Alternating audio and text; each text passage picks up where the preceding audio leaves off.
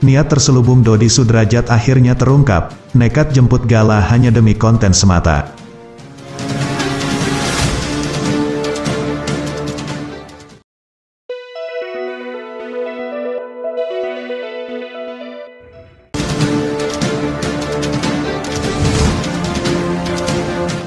Dodi Sudrajat didampingi kuasa hukumnya tiba-tiba menyambangi kediaman Haji Faisal, pada Minggu tanggal 16 Januari tahun 2022. Dodi Sudrajat bermaksud membawa cucunya Gala Sky, untuk berlibur ke Ancol bersama keluarga besar dari mendiang ibundanya Vanessa Angel.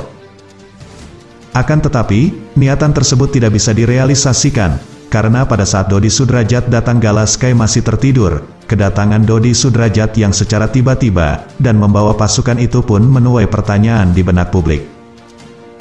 Pertemuan Dodi Sudrajat dan Haji Faisal beberapa waktu lalu, masih ramai jadi perbincangan dan menuai sorotan publik. Pasalnya, Dodi Sudrajat yang secara tiba-tiba mendatangi kediaman Haji Faisal, untuk menjemput cucunya Galas Sky menimbulkan kecurigaan warganet.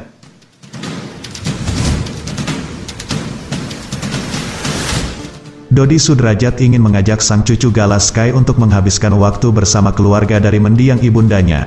Namun siapa sangka, momen penjemputan Galas Sky itu ternyata bagian dari konten semata, dari vlog teranyar Mayang. Setelah berulang sesumbar ingin menjajal peruntungan menjadi YouTuber, Mayang akhirnya benar-benar membuat kanal YouTube miliknya sendiri.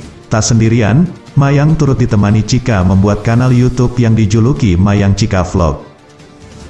Tertera konten perdana di kanal YouTube itu berjudul, mau ngajak Gala jalan tapi nggak dibolehin. Jadi aku hari ini mau nepatin janji aku mau jemput Gala, kata Mayang dikutip dari vlognya. Pada Rabu tanggal 19 Januari tahun 2022, Mayang mengungkapkan, dirinya berniat membawa Gala untuk berlibur ke Ancol. Mau bawa Gala ke Ancol, tutur dia.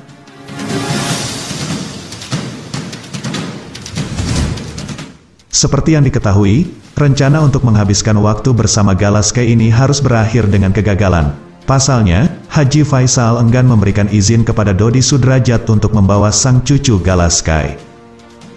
Jadi kita hari ini gak jadi ketemu Gala, kita jadinya nonton ungkap Mayang. Cuplikan vlog Mayang kemudian diunggah ulang oleh beberapa akun gosip. Unggahan itu pun menuai reaksi negatif beberapa warganet, bahkan menyinggung terkait tuduhan Mayang soal eksploitasi Galaskai. Terungkap alasan Dodi Sudrajat mendadak ke rumah Haji Faisal, ternyata demi Mayang yang ingin buat video vlog bareng Galaskai, ngata-ngatain orang eksploitasi anak, lah ini gimana ceritanya, tulis warganet, buat konten bareng Gala biar dapet cuan, tulis warganet lain.